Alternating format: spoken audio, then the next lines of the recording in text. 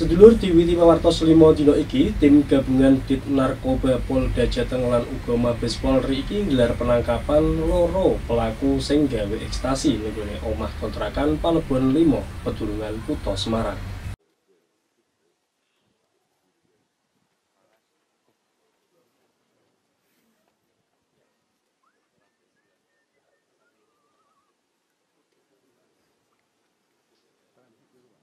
Loro pembuat pil ekstasi MR sing umure 28 tahun lan AR di umure 24 tahun warga Tanjung Priuk Jakarta Utara.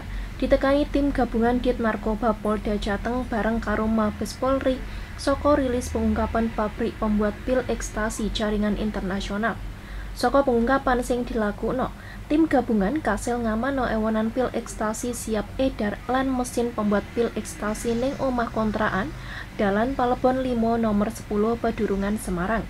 Pengungkapan tim gabungan narkoba awale onone informasi mengenai pengiriman mesin pembuat pil ekstasi, bahan kimia jenis petilon, lan bahan prekursor sing digunakno kanggo gawe ekstasi. Informasi sing dientokno karo petugas sakwise iku dilakukan pengembangan lan kasil nyekel papat pelaku ning omah kontrakan Tangerang lan Kutha Semarang. Wakapolda Jateng ngaku bakal dalami peran loro pelaku ning Semarang lan kerjasama nglakuno penangkapan karo siji pelaku sing saiki isih buron dadi otak pembuatan pabrik pil ekstasi.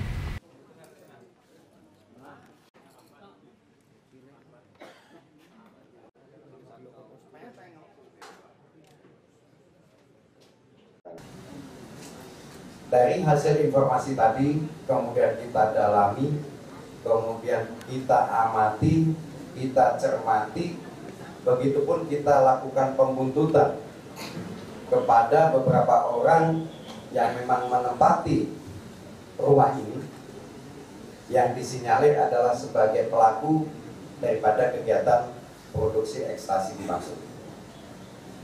Dan alhasil pada hari Kamis tanggal 1 Juni 2023 tempat ini kemudian dilakukan tindakan kepolisian pertama berupa penangkapan terhadap dua orang tersangka dan kemudian dilakukan upaya penggeledahan di dalam rumah ini. Dan betul rekan-rekan, ketika dilakukan tindakan penggeledahan di rumah ini dapat dibuktikan. Telah diketemukan beberapa bahan-bahan kimia kemudian alat cetak termasuk dengan dua orang tersangka. Tersangka ini keduanya berasal atau sesuai dari kartu tanda penduduknya berdomisili di wilayah Tanjung Priok Jakarta.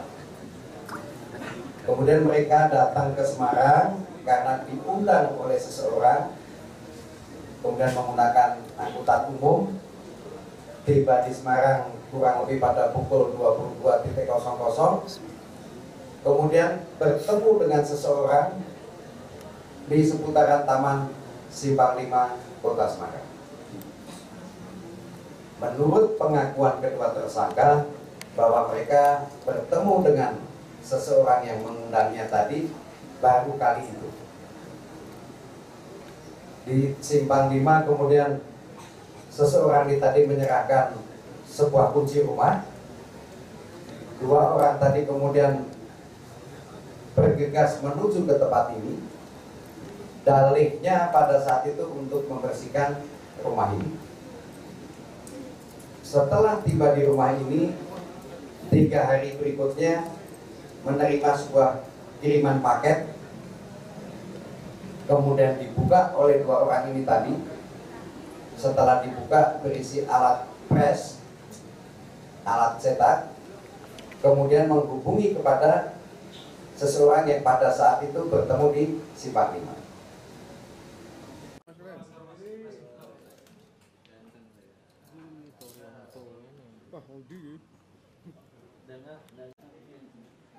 Salah siji pelaku ngaku sakwise ketemu karo wong sing durung dikenal ning kawasan Simpang 5 Semarang, sakwise iku nuju ning omah kontrakan sing wis dipesen kanggo ngenteni mesin sing dikirimno saka Jakarta. Sawise entuk kiriman mesin lan bahan-bahane, pelaku entuk perintah kanggo nglakuna pencetakan pil ekstasi.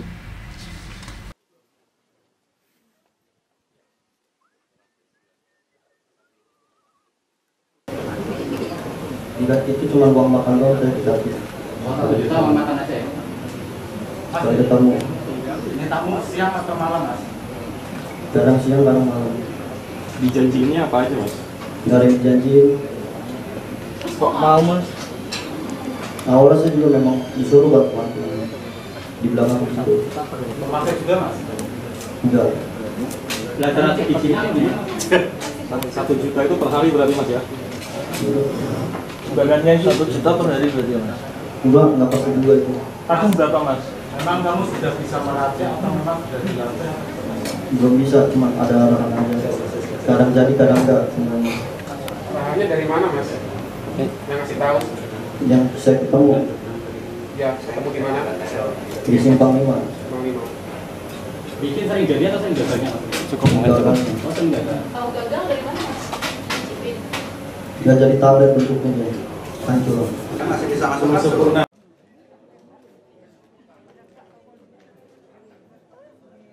Saka hasil penangkapan ning omah kontraan, tim gabungan kasil ngamano mesin pembuat ekstasi, bahan-bahan kimia sing ditekakno saka luar negeri lan ewonan pil ekstasi sing wis dadi lan siap edar.